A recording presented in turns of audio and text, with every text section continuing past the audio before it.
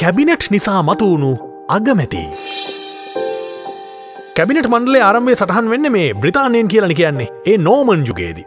ඒ කාලෙ රජුට රටපාලනය කරන්න සහය වෙන්න මග්නූන් කොන්සිලියුම් නම් විශාල සභාවක් තිබුණා. ඒ සභාව ටිකක් ලොකු වැඩි නිසා ඒක අනුකාරක සභාවක් හැදවා. ඒක හැඳින්නුවේ ප්‍රිවි කවුන්සිල් කියලා.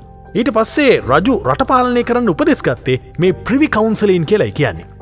ටික කාලයක් යනකොට ප්‍රිවි කවුන්සලෙන් ටික දෙනෙක් තෝරගෙන උපදෙස් ගණ්ඩ කුඩා කණ්ඩායමක් රජු විසින් නිර්මාණය කරනවා. මේ කුඩා කණ්ඩායම හඳුන්න්න තමයි එක්දා සයිසිය හතලියේදී කලරන්ඩන් සාමිවරයා කැබිනට් කියන නාමේ යෙදුවේ. කැබිනට් මණ්ඩලේ නියම උපද සිදුනේ එක්දා සයිසිය විසි පහේදී එංගලන්තේ පළවෙනි චාල්ස් රජු සමය කියලා කියන්නේ.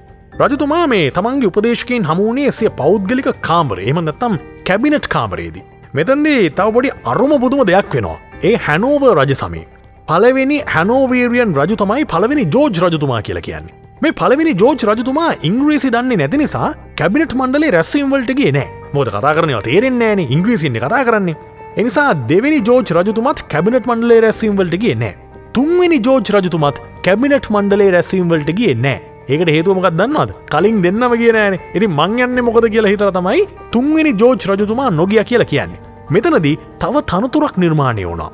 රජතුමා කැබිනට් මණ්ඩලයට නොයන නිසා රජතුමා වෙනුවට මූලාසනය දැරීමට වෙනත් කෙනෙක් පත් කරන්න ඕනුනා. ඒ සඳහා බිහිවුණු තනතුර තමයි අගමැති තනතුර එමනතම් ප්‍රයිමිනිස්ටර් කියල කියන්නේ. පලවෙනි අගමැති වුණේ ස රොබට් වෝල්පෝල් කියලයි ඉතිහාසේ සටහන් කරන්නේ.